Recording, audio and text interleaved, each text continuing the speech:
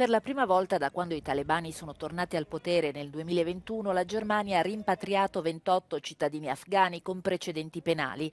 Secondo un portavoce del governo, gli espulsi sono criminali condannati che non avevano il diritto di rimanere in Germania e contro i quali erano già stati emessi ordini di espulsione. Il cancelliere tedesco Olaf Scholz ha descritto la mossa come un chiaro segnale che coloro che commettono crimini non possono contare sul fatto che la Germania continui ad ospitarli. Tuttavia la decisione è stata accolta da critiche. Le espulsioni sono avvenute una settimana dopo il mortale attacco con coltello a Solingen. La sezione tedesca di Amnesty International ha dichiarato che il governo si è piegato alle pressioni politiche, che l'Afghanistan non è sicuro e le deportazioni violano il diritto internazionale. Scholz ha ripetutamente affrontato pressioni per adottare misure più severe contro i richiedenti asilo ritenuti pericolosi.